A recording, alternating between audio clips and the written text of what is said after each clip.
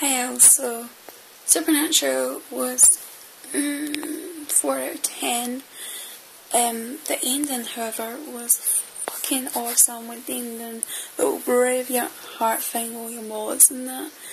Really looking forward to next week's because it's different looking, so I'm hoping that, you know, it's awesome in that. Um, but last night's was just like a filler, you know.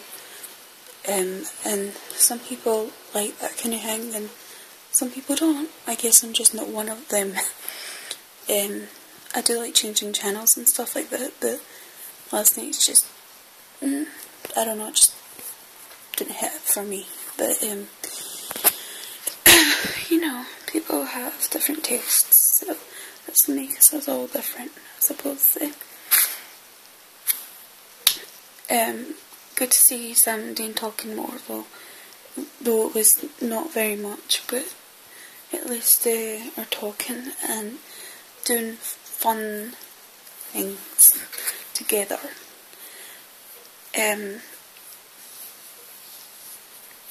I'm hoping that we see them like going to bars more, having a few beers and that, like good days, because they need to start connecting like they used to, you know.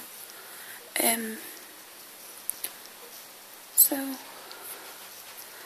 and um, Charlie, and from season seven, was actually quite annoying in last episode to me, last night's episode to me, because she just blamed Dean for everything, and sorry, he did send a text and all that, and that is evil, but um, he didn't ever like screw Sam's life up because he offered for Sam well I mean he gave Sam a chance to like leave in last episode and Sam is a mature and grown up man and he made his own decision to stay.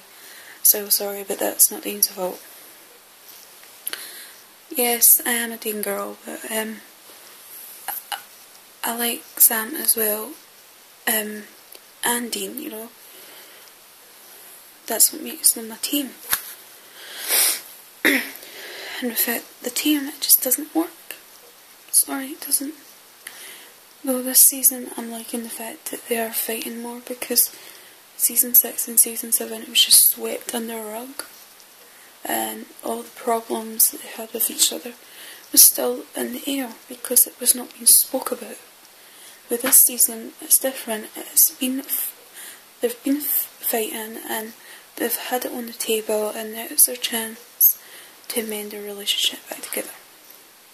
So, hoping next week's rocks. Anyway, if you enjoyed it, that's cool. This is just my opinion.